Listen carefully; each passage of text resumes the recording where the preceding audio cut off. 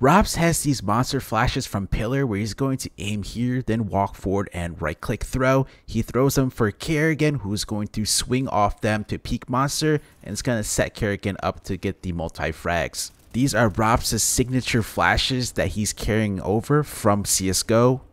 This was a trick play that teams would pull out of their pocket if they need something here and there.